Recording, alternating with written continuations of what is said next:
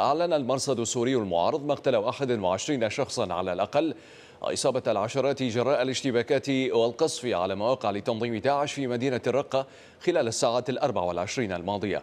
أضاف المرصد أن الاشتباكات تواصلت بين قوات سوريا الديمقراطية المدعومة من التحالف وبين مسلحي التنظيم في المحاور الغربية والشرقية والجنوبية للمدينة.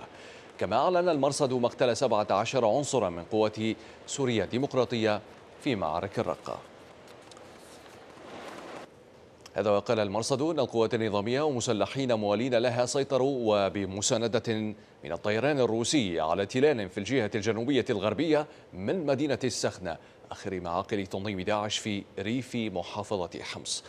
أوضح المرصد أن القوات النظامية باتت قادرة على رصد كل تحركات التنظيم في السخنة خاصة بعد سحب التنظيم لعدد من مسلحيه منها نحو منطقة جبلية في الأطراف الشمالية للسخنة.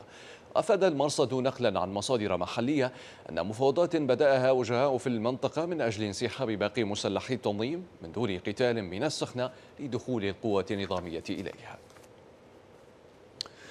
قال المرصد السوري أن القوات النظامية قصفت منطقة المرجى في ريف العاصمة دمشق في خرق جديد لاتفاق وقف إطلاق النار في الغوطة الشرقية. أضاف المرصد أن قصف القوات النظامية طال أطرافا من حي جوبر شرقي دمشق مشيرا إلى اندلاع اشتباكات بينها وبين مسلحي المعارضة في جبهتي عين ترمى وعربين في الغوطة الشرقية.